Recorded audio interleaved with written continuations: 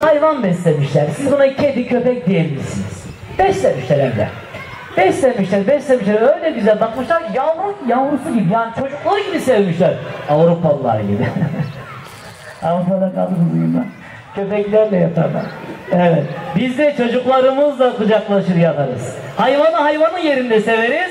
insanı da makamında severiz.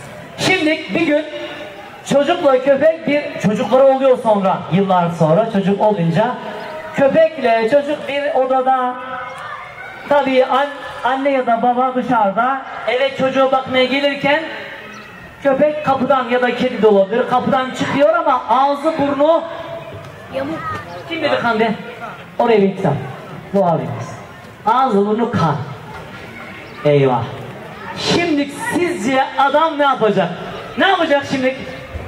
Köpeği vuracak. Köpeği öldürecek. Buraya da verelim ama. Köpeği öldürecek. Hakikaten de vura vura vura. Hanım. Karşıda şöyle bir şey duydum senin hakkında. Bey. Falan konuşuyor sana şöyle şöyle diyor. Telefonla falan. Gelin. Damat. Zamlar. Uçuşuyor havada ön yargılar. Batsın aradaki nakliyeci şirketleri. Laf taşıyan nakliyeciler. Islah olsun. Kurtarsın bizi bu ön yargıdan Rabbim inşallah. Amin. Öldürdü köpeği ya da kediyi. İçeri girdi bir ne görsün arkadan Yılan. Yılan. Siz almışsınız kitap. Oraya yılan. Ama nasıl yılan? Ölmüş. Ölüyor. Oraya da delikanlı. Yetişir kitaplar bitti mi hocam? Heh. Veriyoruz. Veriyoruz. Efendim affedersiniz şöyle delikanlıya. Müdür bey üzüldüm bize. Efendim yılan içeride ölü. Ne oldu kardeşlerim? Görüyor musunuz? Telafisi var mı dönüşü? Yok. Yok. Allah'ım yuvalarımızı cennet bahçesi yap. Eşlerimizle, yavrularımızla huzurlu bir hayat yaşa. Aynen şu sevgi gibi. Bir gün muhterem ümmetim, ashabım, Müslümanlar diye seslenen peygamberimizin kulağına gelen şu ses gibi. Kürsüde peygamberimiz hutbe veriyor. Hutbe verirken bir çocuk sesi geliyor. Çocuk ağlıyor camide. Tam kapıdan girmiş. Peygamberimiz aşağı indi. Çocuğu aldı. Demiyorum. Orada kalıyorum. Dönüyorum.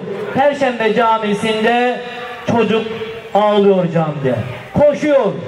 Herkes etraf. Kimin bu çocuk? Çocuğuma sahip çıksana.